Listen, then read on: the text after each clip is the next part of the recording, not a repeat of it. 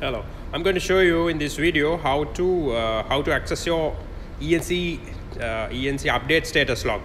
Uh, this is typically useful when uh, auditors or PSC officers require to show them when was the last uh, update that you uh, did your uh, did your ECDIS charts.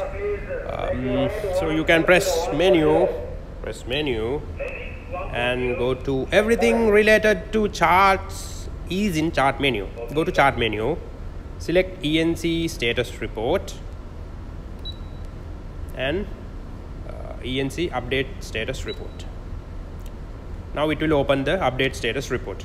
Yesterday I did the uh, ENC updates for week 24 so you can uh, show it to them. You see uh, today is 12th June. I did it yesterday 11th June 2020 week 24 so this is your no, ENC Uh, um, uh, last uh, last uh, chart updates you did to ESC ENC then if they if they required you to show them the AIO updates you have to go to bottom of the of the list because AIO is mentioned at the bottom of the list. AIO layer update reference June 11 20, week 24 and so they will be happy and uh, you are free I hope this is helpful. Thank you for watching.